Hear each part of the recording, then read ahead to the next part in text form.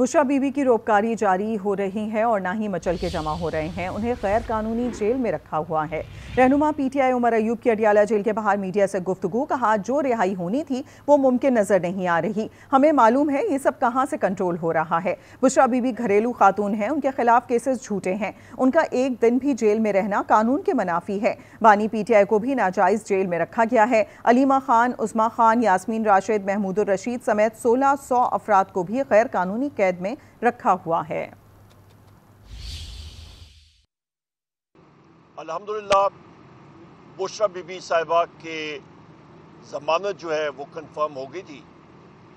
पर मसला ये है, सतम ज़रीफ़ी ये है कि ट्रायल जज साहब जो हैं वो अचानक जिन्होंने मचल के देने थे,